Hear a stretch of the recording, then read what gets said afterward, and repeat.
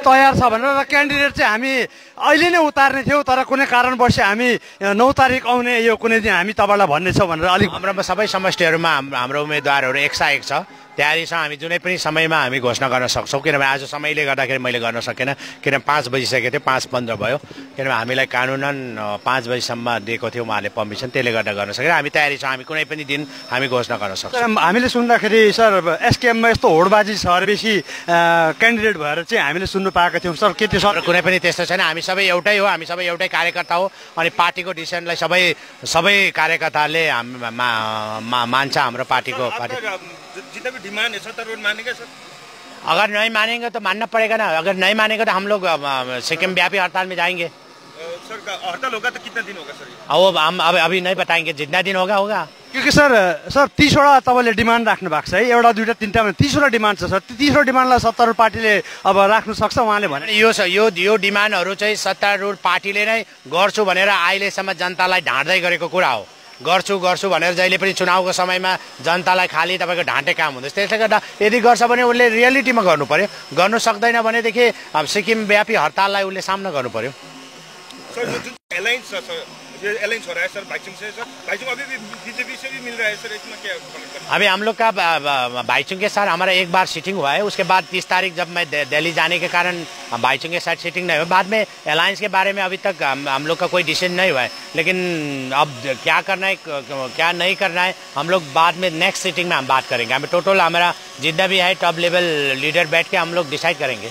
Sir तपाईँहरूले SKM पार्टीले sir यति पक्का यति मजबुत मान्दैछ आजको दिन तपाईँहरूले भन्नुहुँदैछ कि हाम्रोमा क्यान्डिडेट अहिले रेडी छ हामी अहिले उतार्छौँ तर सर एलायन्स किन जानुहुने सर? के त एसकेएम पार्टी एक्लै लड्नु सक्षम छैन? हामी अहिले एलायन्स गर्ने नगर्ने कुरामा हामी गएको छैनौँ तर हामी सबै पार्टीलाई हामी एउटै पक्षमा ल्याएर हामी सँगै नै एउटै मुद्दा हो एउटै मिसन हो। अनि वर्तमान व्यवस्थाको एगेन्स्टमा जो जति पनि पार्टीहरू आज सिक्किममा छ त्यो सबै अहिलेको वर्तमान व्यवस्थाको विरुद्धमा त्यसले गर्दा वर्तमान व्यवस्थाको विरुद्धमा हुने सबै पार्टीहरू एकजुटमा हौँ भन्ने हाम्रो आह्वान हो। धन्यवाद सर थ्याङ्क यू सर।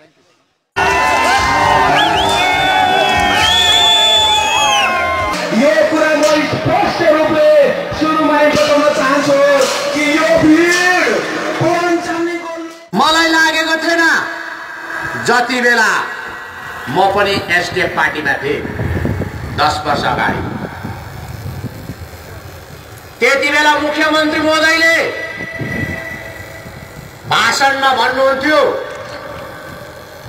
म कसैलाई गाली नगरिकन सरकार बनाउँछु। म कसैलाई दग्दी नदिकन सरकार बनाउँछु। तर आज हेर्नुहोस् त्यति बेलाको एसटिएफ पार्टी आज यो हालतमा आइपुग्यो। आज सिक्किम क्रान्तिकारी मोर्चा पार्टीको स्थापना दिवसमा नजाओस् भनेर आज स्पेसल ग्राम सभा लगाउनु अनि मुख्यमन्त्रीको प्रत्येक सम्भाषणमा गाली गर्नु नहुने कुराहरू गर्नु अनि अपोजिसनलाई गाली गर्नुबाट प्रमाण हुन्छ कि एसडिएफ पार्टीको नाइके कति साह्रो डराएको छ। यो डराएको होइन। यो पिएस गोलेसँग डराएको होइन। आज वर्तमान सरकार सिक्किमे जनतासँग डराइसकेको छ।